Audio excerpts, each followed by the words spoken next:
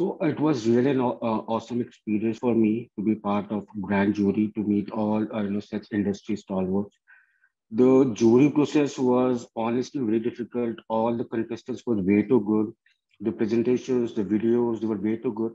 It was really difficult to you know to uh, show, uh, cut it down to gold, silver, and bronze. It was not easy, but it was it was pretty good actually. You know, came to uh, learn a lot about the marketing. Uh, honestly, coming from the marketing background, but still, you know, uh, learned a lot uh, throughout the day. Really, uh, best of luck to all the all of the people who participated in this, and looking forward to meet you all of the guys. See, personally, there were a couple of things that, but uh, he's having some, I know, bronchi- bronchial asthma issue. Mm-hmm. So he is used to take uh, taking care of all these asthma pumps and everything. So uh, the learning that they imparted on that particular part was really good.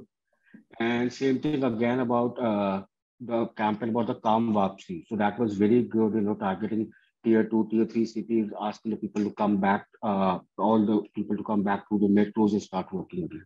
So a couple of the campaigns, they were pretty awesome. Actually.